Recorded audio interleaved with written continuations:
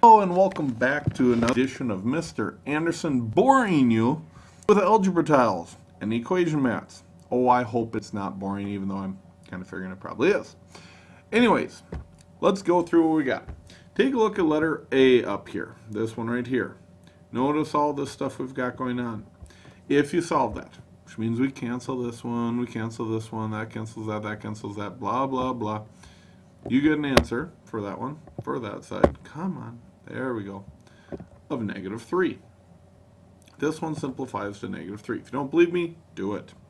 This side here, these two cancel here, and then these two cancel, and these two cancel, leaving you with a grand result on that side of 0. If we compare which is greater, well, we see that 0 is actually greater than negative 3. Let's take a look at the next one over here. In fact, we're going to build this one on the equation mat after a moment.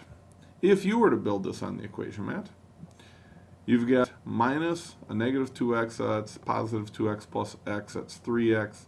We've got minus 1 and a positive 1, so the only thing left on that side of the equation mat is 3x. On this side, we've got minus a negative 4, that's actually plus 4. I've got 3 plus negative 1, which is 2. 2 plus 4 is 6.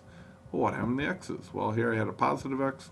Here I had the opposite of positive x is negative x. x and negative x, so they cancel. So I've got 3x and 6. Hmm, which is greater? Remember yesterday I told you we can't tell, and that's true. We can't tell which is greater. But what we're going to be using today is to solve equations. So I've got my 3x's on that side. I've got my 6 over here. Oh, give me a second to get this done. Wouldn't it be nice if Mr. Anderson had faster fingers to do this? But he doesn't. There you go. So 3x on the left side. I've got 6 on the right side. You might notice that I put these neatly to where this x combines with these two. This x combines with those two. And this x combines with those two.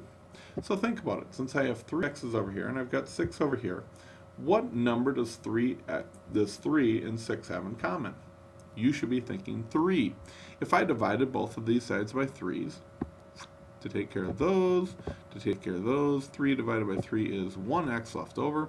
6 divided by 3 is 2. So we know that x equals 2. I know it's just magical. You're amazed right now.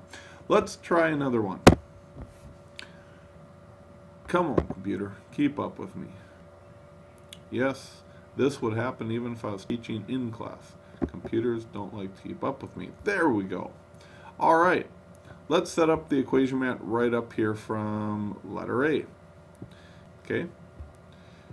We've got, when I take these negative x's right here and bring those to the top side, they go from being negatives to being, that's right, positives. Come on, all the way over there. One, two, three positives. Oh, that don't work very well with me. These two here cancel. When I move that positive to the top, it becomes a negative. So I've got 2x minus 2. This one here, when I move this x to the top, it becomes a positive x. When I take these two and cancel those out, I'm just left with four positives on the top. One, two, three, 4. All right, let's continue solving this equation. We know that if I have an x on the top over here and an x on the top over there, these two can combine and will cancel each other out. So those are gone. I have all my x's on one side. That's really cool. Now it would be really cool if I had all my numbers on the other side so I could solve for what x equals. Well, how could I move these to this side? Remember, whatever I do to one side, I must do to the other. So how can I cancel two negatives? Oh, you're very bright. I should add two positives. So if I add two positives to the left side, then doggone it, I better add two positives to the right side. like so. Let's make that nice and neat and orderly. These two here cancel, so let's get rid of them. Adios, amigos. Sayonara. I think that's how you say it, but I don't know. Anyways, on the left side, I've got two x's left over. On the right side, I've got 6. If I divide both sides by 2, then this one and these three go away. And I'm left simply with x equals 3. I know what you're thinking. Mr. Anderson, you are a genius. All right, now that we have that all settled down, will you please do letter B right there? Make sure you know, ah, you know what, forget that. We'll do letter B in class tomorrow. Let's move on and do number 76. Oh, computer. There we go. Let's do a couple of these together. All right, let's do A and B together. Letter A, woohoo, 3x. That's 1. Where the heck did that go? Let's try that again. 1, 2, 3, minus 7 of these things. Oh boy, oh boy, you get to watch me do this for a while. There's 3 and 4 and 5 and 6 and finally 7 and I've got a positive 2 on the side.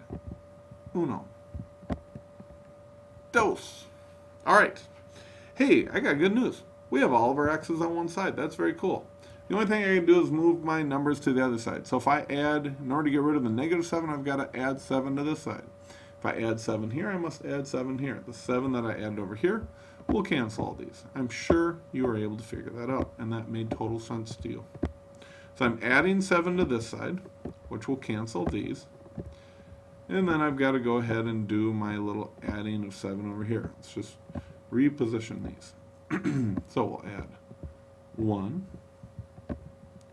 two, three, four, five, six, seven. And I'm sure you saw that all work out very neatly. Yes, there's three x's, there's nine here. They both have a 3 in common. We divide by 3, so we know that x will equal 3. Very good. I said we'd do one more. Alright, so I don't lie to you. Let's do one more. We'll do letter B. Let's see, we've got two positive x's on the left side from right here, but we also have a negative x on this side. On this side over here, I've got one positive x here. Oh, I've got another positive x here. I've got a positive one that goes on the left side, and I've got ooh, negative 5, so let's get rid of some of these.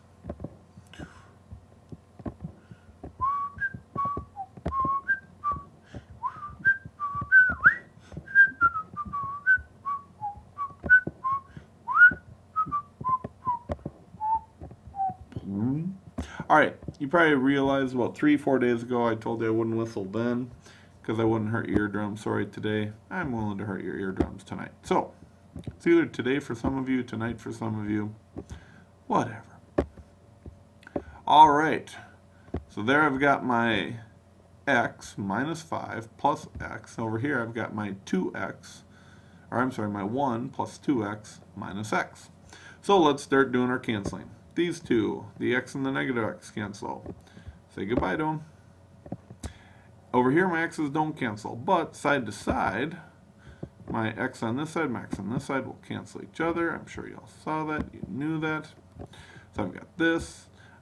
In order to get these fives negatives to be on this side, I've got to do the opposite or add 5 to this side. So I've got to add 5 to that side. So we're going to get rid of these 5. And by adding 5 to this side, I've got to also add 5 to the other side. Here comes the whistle. One, two, three. I know what you're thinking. But you're not whistling. Psych. Four. Whoa. Whoa. Phew. Five. Since there's only one x, and there's a grand total of six over here, you should know for letter B, x equals 6. All right. You in class tomorrow are going to do C, D, E, and F. So, if you want to get a head start on tomorrow, guess what you could do? C, D, E, and F. Hey, have a great night. We'll see you tomorrow.